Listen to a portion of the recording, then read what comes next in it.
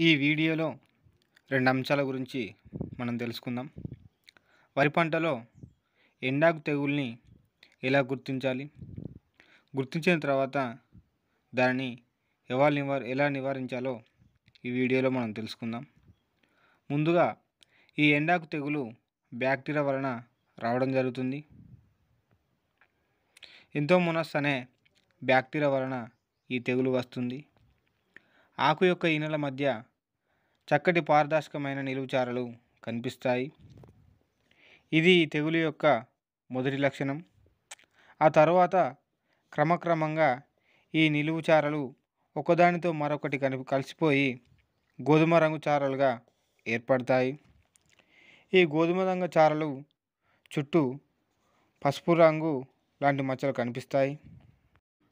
ఉదయం వేళలో ఈ ఆకు మీద పసుపు రంగు గిజెట అనే పదార్థం కనిపిస్తుంది.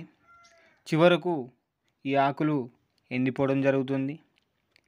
ఈ ఎండాకు తెగులు వ్యాప్తికి అనుకూలమైన వాతావరణం చూసినట్లయితే గాలిలో అధిక తేమ శాతం ఎనభై మూడు లేదా తొంభై మూడు శాతం ఉదయం రెండు నుంచి మూడు గంటల వరకు మంచు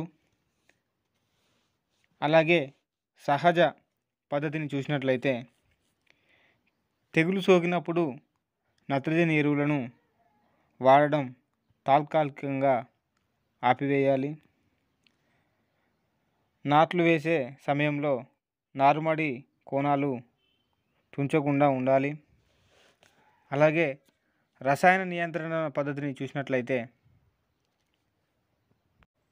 ట్రెప్టోమైసిన్ సల్ఫేట్ తొమ్మిది శాతం టెస్లాసైలిన్ హైడ్రోక్లోరైడ్ ఒకటి శాతం ఎస్పీ అనే మందు ఒక ఎకరానికి మోతాదు చూసినట్లయితే వంద గ్రాములు వాడుకోవాలి.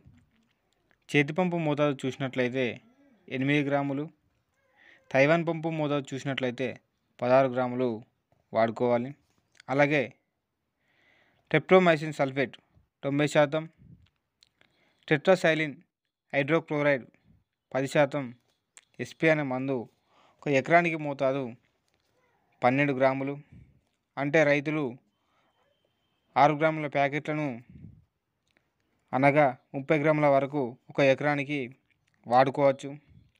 ఈ వీడియోలో చెప్పినటువంటి మందులను వరిలో వచ్చేటువంటి ఎండాకు తెగులు గుర్తించిన వెంటనే ఈ వీడియోలో చెప్పినటువంటి మందులను స్ప్రే చేసుకొని దీనిని నివారించుకోవచ్చు. నా వీడియోలు కనుక మీకు నచ్చినట్లయితే తప్పకుండా లైక్ చేయండి. ఇతర రైతులకు ఉపయోగపడుతుంది అనుకుంటే షేర్ చేయండి. వీడియో చూసేవారు కొత్తవారైతే సబ్స్క్రైబ్ చేసి నాకు సపోర్ట్ చేయండి.